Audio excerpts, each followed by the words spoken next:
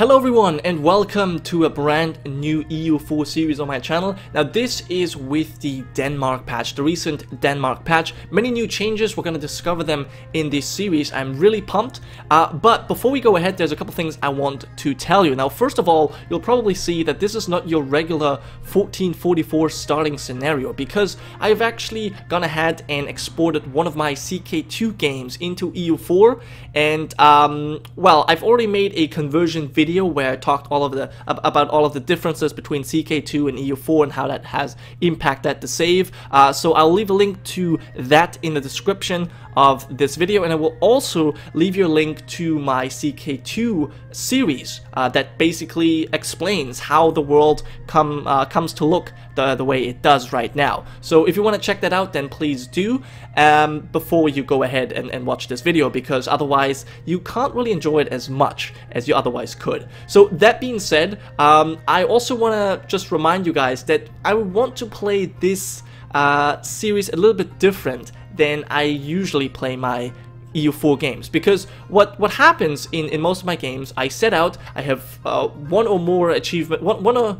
yeah one or more achievements that I want to obtain and I do basically everything in my power to get these achievements. Uh, also maybe as quick as possible. Not not always but I try to get them uh, as soon as I can. Uh, right. So uh, but this is a game that is coming from CK2 that's been uh, converted over. So I want to do things a little bit different um, and I want to stick more to roleplay. Now obviously it's not going to work as well as it would if this was a CK2 game, but our rulers still have traits. So for example, our current ruler, the Basilissa Maria II, she's very old, 63 years old, she's been ruling our country for, well, yeah, the last 40 years almost. Oh no, she has, she has actually ruled our country for uh, the last 46 years, and she's done an amazing job. Now, her nickname is actually Basilissa Maria the Holy, and that is uh, because she's been fighting several great wars against uh, the Baris, the, the, Sultanate, the Ilkhanates, uh, as well as uh, even the Golden Horde, I, I, believe. But in any case, she has taken, uh, she's reclaimed the holy city of Jerusalem for the Orthodox faith, and um, yeah, this is just one of her many accomplish, accomplishments. So, um, it actually makes a lot of sense that she is a zealot and she has some other ruler traits here. And basically the way I want to do this is that some of the more important decisions I want to make based on the traits of our rulers. Now as I said this is not going to work as well as it would in CK2 because we only have three traits at the most and they're not always you know really going to help us uh, make a decision. But during events you oftentimes uh, have op options that are only available uh, if your character or your ruler has a certain trait. So we'll always pick them, that's quite obvious, but um, I also want to set certain goals for our rulers. So uh, for example, if uh, if our ruler would have just been inaugurated, right? Uh, I would like you guys uh, to just come up with ideas of what we should do. And these ideas should be somewhat tied to the traits of our ruler. So for example, if we had a zealot ruler, just like we have right now, we would obviously try to fight religious enemies, we would try to uh, suppress heresies, and convert other nations, all these kind of things. We wouldn't necessarily ally uh, heathens, all these kind of things. This is kind of what we would do. and maybe for example, if we had to, if we were to lose Jerusalem, and we would then have another zealous character, we would make everything we could, everything in our power, to regain the holy city. Uh, I, hope that you kind of get uh, catch my drift here and get the idea of, of what I'm trying to say. Uh, but this is basically how I want to play this campaign, and um, yeah, uh, that's just as a, as a um, well, information here in the beginning. Now, I did, as I said, make a conversion video uh, to kind of go over all of the changes uh, going from CK2 to EU4, but since I'm now using a different version of the EU4 game, a couple of things have changed. First of all, we are actually now a zealot. In the last, the last time I converted the game, I we did not we were not zealous. There was some other. I think we were even tolerant. I think that was quite the opposite. We're a tolerant character, which didn't really fit exactly. So I'm I'm very happy that this is now corrected. Um, but uh, there's also one other big change, and that is uh, that we can see when we look at the great powers. So we still have Ming here, which is obviously an EU4 thing. We have the Karites, the Ilkhanate, and the Baris. They have all been very powerful in the CK2 game as well. And then you can see the Aztec as well as the Inca on here. Now this is because when I converted over this game, I had the Sunset Invasion turned on, and that makes the nations in the New World extremely powerful. But you know what? I think this is actually kind of fun. Um, so we're just gonna keep that. This is different. I don't know why uh, it did not happen when I converted the game last time, but I, I actually enjoy that because that's kind of fun. A lot of you people have actually suggested that uh, we should try and obviously restore the Roman Empire in this in this campaign, and that's something I definitely want to do. Uh, but also a lot of people wanted to see a new Rome in the new world, and this is going to be just more interesting if we actually have someone uh, powerful to fight over there. So yeah, that's just uh, you know concerning the changes that have been uh, well that, that have happened during the or because of the Denmark patch I should say. So yeah without further ado uh, without without further ado there you go. Uh, I think we should just start and uh, well go ahead with this series. So um yeah uh, I think we should actually start by looking at a character. Now, I have been playing the Basilissa Maria in CK2 for a long time, and she has the nickname The Holy, which does not appear here in EU4, but we should just keep that in mind uh, for our uh, series right now. Um, so, since she is 63 years old, I don't think she's gonna live all that long, so we don't really need to have... I don't really think we need to come up with certain goals for uh, for Maria II because that simply doesn't make much sense. What I want you guys to do is come up with uh, goals for our for her heir Photheus because he's going to take over probably in the next episode or maybe even this episode if I ever get to unpause. And uh, then I kind of want you guys to tell me what we should do. Should we uh, go ahead and, and take over well take on Ilkhanate or should we just try and stay at peace because he's an administrator? Just uh, let me know in the comment section and uh, yeah we'll uh, we'll just take it from there. But yeah um as Maria, I think we're just gonna try and keep the status quo. We have Jerusalem, and we would like to convert that, if possible, um, which is currently not possible due to, uh, well, Sunni, minus 2%. This is really the problem. So I guess what we're going to have to do is get an advisor that will help us with the conversion. Unfortunately, we do not have anyone, so that's something we're going to have to fix. Maybe we can talk to our clergy here and see if we can get a minister. A theologian? No, we would need to have an inquisitor here.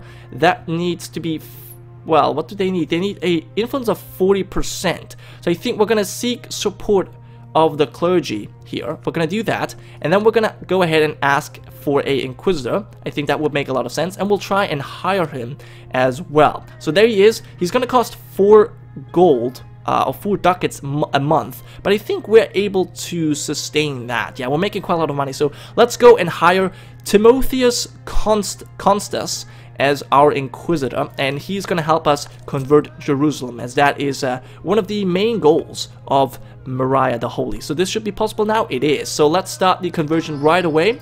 And uh, yeah, this is obviously uh, just uh, just one thing that I really wanted to do. But now we should also do the regular things that are always important. So we need to pick some rivals. Now um, we have Hungary, England, France, all of these people rivaling us, but we don't really care about them. We care about the Baris the Ilkhanate as well as the Great Horde. And I think those are the big bullies, the big Sunni bullies, or, well, in this case, Hurufi, which is a Shia heresy. Uh, Muslim, in any case. Muslim bullies that, uh, well, we need to get rid of. And therefore, I think they should be our rivals. So first of all, we'll, we'll pick the Baris. Second, we'll pick the Ilkhanate. And thirdly, as I said, it would just make sense to actually pick the Great Horde, even though, actually, I don't think we've ever fought the Great Horde in CK2, but still, they are threatening our realm, and if I'm not mistaken, uh, they might even hold some... No, this is still the Arcana. Okay, so they don't actually hold any of our lands, but still, they are very close. I mean, we boarded them uh, multiple multiple uh, provinces. So yeah, I think it, it, just makes sense to try and get rid of them. So um, now that we have set up our enemies, we should also try and get some allies. Now, as you can see, we have one vassal already. That's Anatolia, and that's currently ruled by, I believe, our cousin Eustathius Palai Palaiologos. So uh, there he is. Uh, he's currently not very happy with us. He's actually yeah, he feels very powerful, so uh, I guess improving relations with him would be a good idea. Now, he is not the only, uh, well, the only Pelagos that is uh, that is ruling, um, because obviously we are the Empress of Byzantium, then we have the Exarch of Anatolia. He's been helping us in our crusades quite a bit. But then we also have a small little lordship over here that's held by another member of our family, Umbo Umberto, Duke Umberto Palaiologos.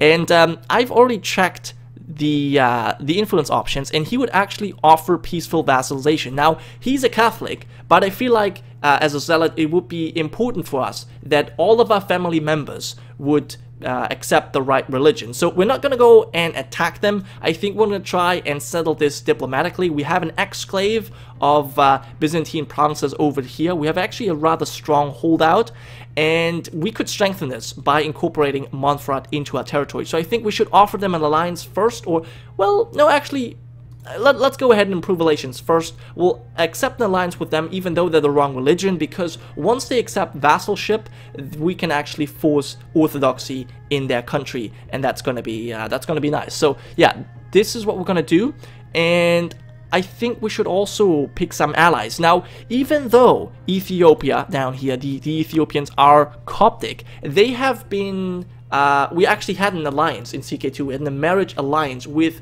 the Abbasids, well, no, not the Abbasids, but the Abyssinians, uh, which is now Ethiopia and EU4. And I just feel like it kind of makes sense. They're a nice balancing power to the Bari Sultanate, which is our biggest threat. So I feel like we should offer an alliance uh, with them as well. The other alliance, uh, I would probably uh, like to, uh, well, like to form with Muscovy or Novgorod, but Novgorod doesn't like us that much, so probably Muscovy because they can be another strong Orthodox power in this region, helping us against the Sunni Great Horde. So yeah, this is that. Uh, we're improving relations with our vassal, we're gonna get another vassal, we're gonna get some alliances set up, that's all nice. Uh, as for mission, uh, yeah, what uh, achieving religious unity seems like something we would be very much interested in, but conquering Ingil I'm not entirely sure where Ingil is. So, where is Ingil? Is that is that over here somewhere? Oh, that's over here in the Great Horde. I don't really think that's where we would want to go right now. I think achieving religious unity is more important for Zealot's character, so we're going to go for that. Uh, anything else that I have missed uh, right now? No. I think we have our advisor. We could go for, yes, a discipline advisor would make sense for a strict ruler as well, so we'll go for this and then probably a trade efficiency makes sense as well since we're an entrepreneur. So our advisors resemble our ruler's traits uh, very well. Uh, in fact, they're actually the exact uh, same pictures, which is kind of cool. So I like that already. Uh, things are things are looking good. Things are definitely looking good. Okay, so this is all set up. Um, we could build castles. Now, I see that we have a castle in uh, Thessaly uh, right here, but this is not really all that useful. It's in grasslands, and there's mountains right here, which would be much more suited for a castle. So I think I'm actually going to get rid of this castle, because it doesn't really give us any bonuses, and we'll rather use our money to build castles somewhere else. Now, there would be an excellent spot to build a castle right here in Wallace, because it's in mountains, and it is controlling the pass. Now, this is one of the new things implemented with the Denmark patch, these, uh, well, these wastelands in the Alps, and in other mountainous regions as well, like the uh, Carpa uh, Carpathia, or I don't know what it's called. I don't know what this mountain range is called. I, I know the German uh, name. But anyways, so yeah, uh, uh, yeah. So I, I, think this would be a perfect spot for fortress right here. But I think we should rather, uh, well, maybe hmm, spend our money to build a fortification here in Constantinople. Maybe that's more important, but we don't really have any any enemies close by. So I don't think I think we're just gonna save our money for now. Or what we could also do, let me see, is this this is highlands, this is mountains as well. I think a fortress here would be good, and maybe a fortress here in uh, in Sidon, since that's also a mountainous fort. So that would kind of make sense, fortifying the Holy Land or fortifying this.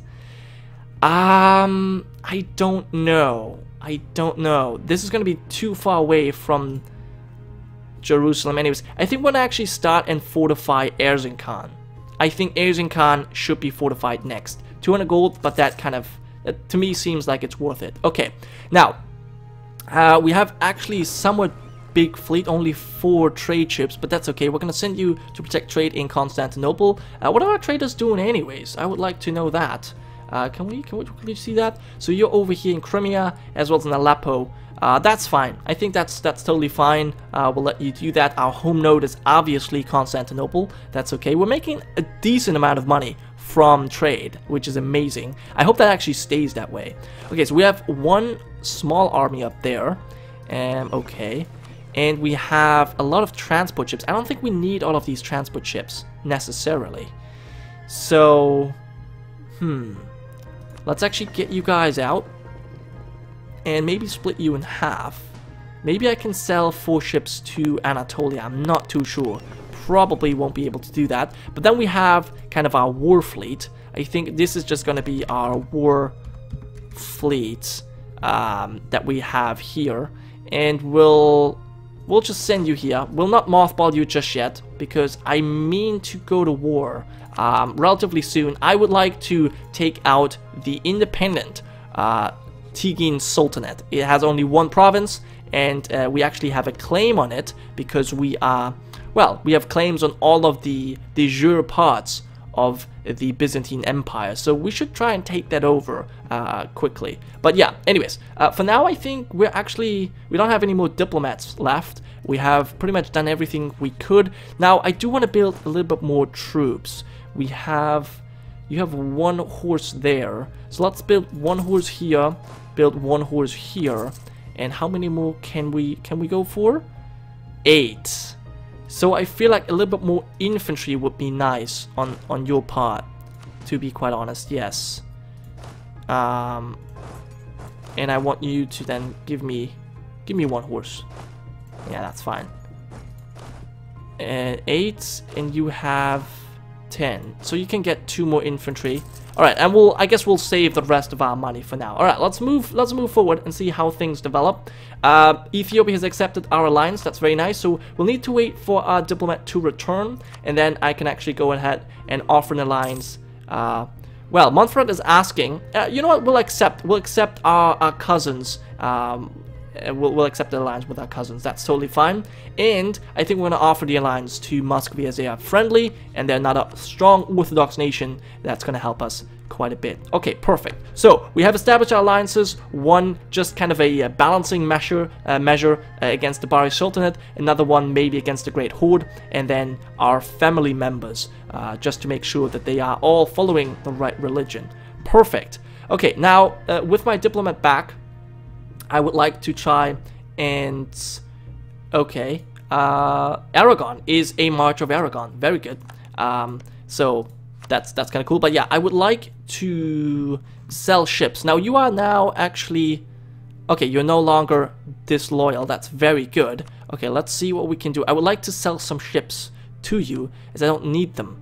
You need only one transport ship, so you're not really interested in my transport ships. I see that. Okay, well, I'm gonna mothball them. No, I'm not gonna mothball them. You know what I'm gonna do?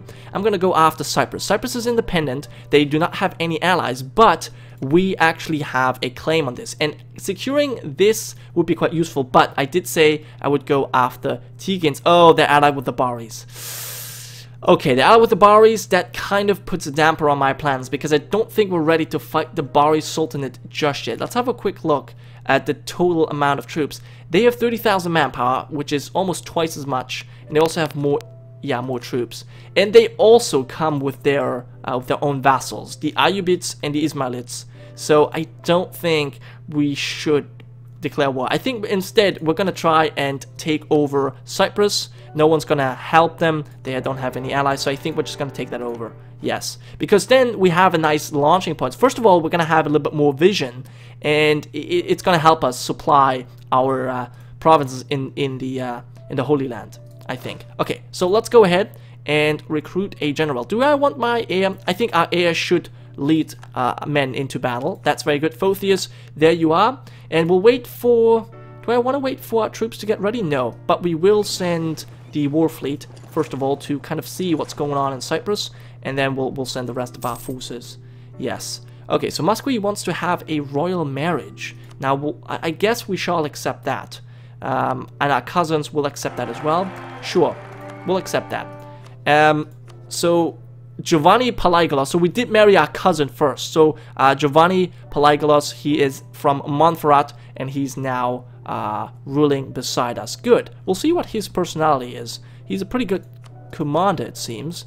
I wish we could make him a general as well. Bulgaria wants military access. I do not think that we will accept that. No. That's one of the few things we will not accept, in fact. Okay, so uh, you need one more horseman, if I'm not mistaken. Yes. So we'll wait for that. And, okay, so there's 5,000 right there. Okay. That's okay. We can... Uh, yeah, we'll, we'll wait. We'll wait a little bit.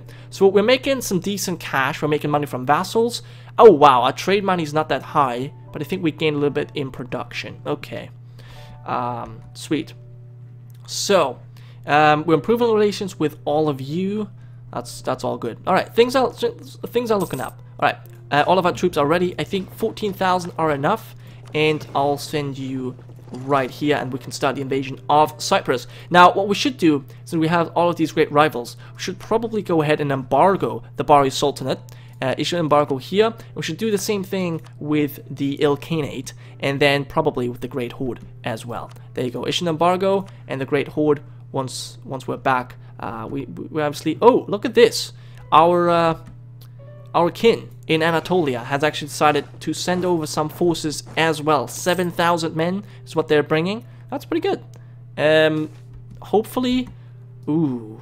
Hopefully... Oh, we're going to be too late. It seems like we're going to be too late. Hopefully that's not going to happen. But anyway, uh, France is going to gain a claim on our country. That's not nice. Our kin has uh, has helped. Well, they have been useful.